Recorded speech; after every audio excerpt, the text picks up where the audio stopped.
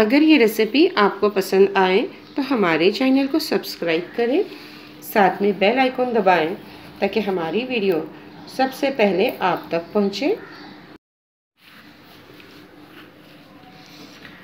अस्सलाम वालेकुम and hello friends आप सबका खैर मकदम है।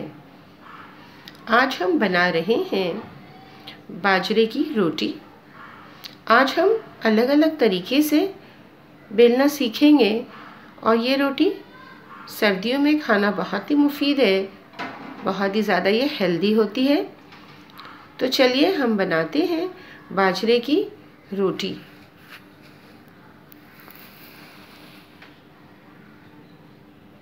इस रोटी को बनाने के लिए हम बिल्कुल फ्रेश बाजरे का आटा लेंगे।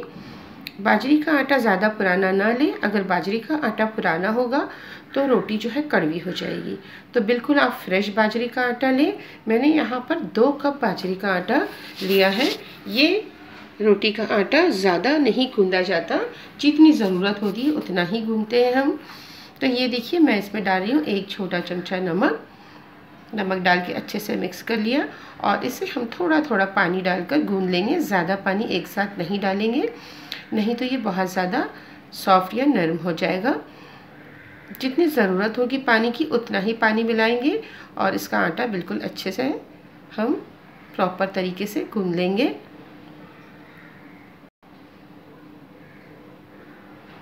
अगर आप चाहें तो हल्का गर्म पानी भी इस्तेमाल कर सकते हो, लेकिन यहाँ पर मैं नॉर्मल पानी इस्तेमाल कर रही हूँ। ये रोटियाँ खाने में बहुत टेस्टी लगती है। इसे आप सब्ज़ी तरकारी से या नॉनवेज से भी खा सकते हैं। तो ये देखिए, ये मेरा आटा जो है, तकरीबन जो है गुनने आया है। ये देखिए, आटा मेरा पूरा अच्छे से मल चुका है। अब इसे हम चार से पाँच मिनट के लिए बिल्कुल अच्छे से इसे मल लेंगे। बिल्कुल भी आप ये ना समझे कि इसे मलना नहीं है, क्योंकि इस तरह हम इसे जब गूंदेंगे तो रोटी जो हमारी बड़ी ही सॉफ्ट बनेगी और उसके किनारे फटेंगे नहीं। और अगर आप इसे कम गूंदोगे तो उसके किनारे जो है रोटियों के फट जाएँगे। हथेली की मदद से इसे हम इस तरह से मसलते जाएँगे ताकि ये बिल्कुल सॉफ्ट हो जाए। तकरीबन हमें इसे तीन से चार मिनट इसी तरह गूंदना है। ये देखिए। इस स्टेप को आप बिल्कुल भी स्किप ना करें। इसे बिल्कुल अच्छे से गूंद लें। ये देखिए, आटा बिल्कुल हमारा चिकना हो गया है। यानी रोटियाँ हमारी किनारे से नहीं फटेगी। बिल्कुल अच्छी है। ये अच्छे तरीके से आटा हमारा गूंद चुका है। अब देखिए, अब इसकी हम झटपट रोटियाँ बनाएँगे। तो ये ये देखिए, मैंने एक पेड़ा इसका तोड़ लिया। जैसे हम गेहूँ की रोटी बनाते हैं, फुल के, उससे थोड़ा सा बड़ा हम इसका पेड़ा लेंगे। और बिल्कुल इसी तरह से इसकी लोई तैयार कर लेंगे। ये देखिए, इसकी लोई तैयार हो गई। अब इसे खुश्क आटे में, या ये बाजरी का ही आटा है, खुश्के मैं इसमें लगा रही हूँ। अच्छे से बिल्कुल इसे कोट कर लेंगे। और ये रहा, अब इसे हम बेलेंगे। तो पहले देखिए, उंगलियों की मदद से हम इसे थोड़ा सा जो है फैला लेंगे। ये बहुत आसानी से हाथ से भी बिल जाती है और बेलन से भी। तो ये देखिए, ये मैंने थोड़ी सी इसे बड़ी कर ली, उंगलियों की मदद से। अब इसे हम हल्के से, बिल्कुल हल्के हाथ से इसे बेलन से हम बेल लेंगे। पहले हम इसे बेलन से बेल लेंगे, बाद में आपको मैं हाथ से भी इसे बेलना बताऊँगी। तो ये देखिए, आपने देखा, बिल्कुल आसानी से ये रोटी हमारी चकले पे घूमी भी और बिल्कुल अच्छे से बन गई। ये देखिए, इसके किनारे फटे नहीं हैं। अब इस रोटी को इस तरह हाथ पे लेंगे और चकले को पलट देंगे ताकि रोटी टूटे नहीं। और इसी ये मैंने तव दूसरी तरीके से आपको मैं रोटी बेलना बता रही हूँ। ये देखिए, इस तरह से पहले उंगलियों से इसे थोड़ा सा मैंने बड़ा कर लिया। साथ में खुश्क आटा लगाते जाएँगे और ये देखिए, बस इस तरह से गोल गोल घुमाते जाएँगे। अगर ज़रूरत होगी तो खुश्क आटा इसे ज़रूर लगाएँ। ये देखिए, इस तरह खुश्क आटा लगाने से रोटी बड़ी आसानी से फैल जाती है, पर ज़्यादा भी ना लगाएँ। इस तरह बस इसे थपकते जाएँ। ये रोटी देखिए, बड़ी आसानी से जो है बढ़ जाती है। बाजरे की रोटियाँ ज़्यादा बड़ी बड़ी नहीं बनाई जाती। बिल्कुल देखिए, बहुत ही आसानी से ये हाथ से भी बिल गई। तवा गरम करने मैंने रख दिया है। ये देखिए, अब ये बिल चुकी। अब इसे उठाने के लिए हम क्या करेंगे? पहले चकला हाथ में लेंगे, इस तरह हाथ रखेंगे और इसे पलट देंगे। ये देखिए, हाथ में आ गई। अब मैं मैंने जो तवा गरम कर रखा है, इसके ऊपर हम इसे सेकेंगे। तो ये देखिए, इस ढंग से हम इसे रोटी को बिल्कुल आसानी से सफ़ाई से रोटी तवे पे मैंने डाल दी और इसके ऊपर हम गीला हाथ लगाएँगे, थोड़े से पानी के छीटे। ये देखिए, इस तरह गीला हाथ लगाने से रोटी काफ़ी सॉफ्ट बनती है। और फ्लेम को मैंने बिल्कुल मीडियम रखा है, ज़्यादा हाई फ्लेम नहीं रखेंगे, नहीं तो ये रोटी फ़ौरन जल जाएगी। और जब तक ये पानी खुश्क नहीं होता, हम थोड़ा इंतज़ार करेंगे। ये देखिए, पानी खुश्क होना शुरू हो गया। जब पानी बिल्कुल खुश्क हो जाएगा, तब हम इस रोटी को पलटेंगे। ये देखिए, पानी खुश्क हो गया, इस रोटी को मैंने पलट दिया। ये देखिए, कितने बह, अच्छे इसके ऊपर ब्राउन से स्पॉट्स आ गए हैं। अब इसे हम तकरीबन एक से डेढ़ मिनट इसी तरह पीछे की साइड से थोड़ा थोड़ा सा घुमा के इसे हम सेक लेंगे। ये देखिए फ्लेम को मैंने मीडियम रखा है। अब इसे मैं पलट रही हूँ। ये देखिए, यहाँ पर भी स्पॉट आ गए हैं। अब इसे बिल्कुल हाथ नहीं लगाएँगे कुछ सेकंड के लिए। इसे पलटेंगे भी नहीं, बिल्कुल इसी तरह रखेंगे। कुछ ही देर में ये रोटी हमारी फूलना शुरू हो जाएगी। ये देखिए, रोटी जो है खुद ब खुद फूलना शुरू हो गई।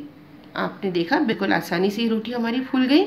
अब इसके थोड़े से किनारे हम प्रेस करते जाएँगे और इसके किनारों को सेक लेंगे। तो देखा आपने, ये रोटी बेलना और सेकना कितना आसान है। हालाँकि हम हमेशा सोचते हैं कि रोटी बाजरे की बनाना बहुत ही मुश्किल है, लेकिन ये बहुत ही आसानी से बन जाती है। एक रोटी मैं आपको और सेक के बता रही हूँ। ये देखिए, इस तरह आपने रोटी डाली। इसके ऊपर हम डालेंगे पानी के कुछ छीटे और पानी के खुश्क होने का इंतज़ार करेंगे। जब पानी खुश्क हो जाएगा, तब इस रोटी को हम पलटेंगे।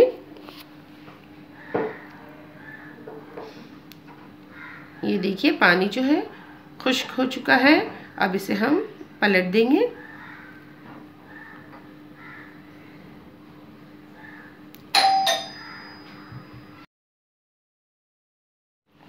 अब देखिए, मैंने फ्लेम को मीडियम ही रखा है। कुछ सेकंड बाद मैंने हल्का सा बस इसे घुमा दिया। तकरीबन एक से डेढ़ मिनट के बाद मैंने इसे पलट दी। अब इसे हम बिल्कुल टच नहीं करेंगे, बिल्कुल इसी तरह रखेंगे मीडियम फ्लेम पर और ये रोटी हमारी कुछ ही देर में फूल जाएगी।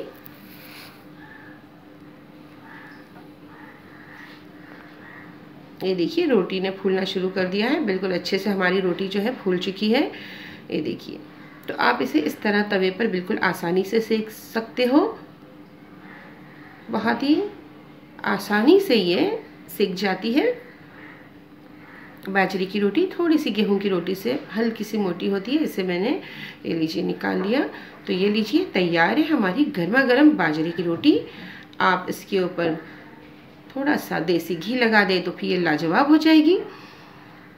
और इस गर्मा गर्म रोटी को आप जो है वेजिटेबल से, तरकारी, सब्ज़ी तरकारी से या अचार से या फिर आप नॉन वेज से भी इसे सर्व कर सकते हो। ये देखिए, मैं आपको थोड़ी सी तोड़ के बताती हूँ। काफ़ी सॉफ्ट बनी है, सिर्फ़ एक ही हाथ से देखिए, ये बड़ी आसानी से हमारी टूट जाएगी। ये लीजिए, मैं आपको तोड़ कर भी बता रही हूँ। ये देखिए,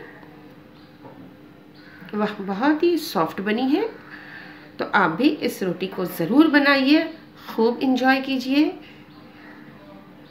खुद भी खाएँ, साथ में अपने अपनों को खिलाएँ।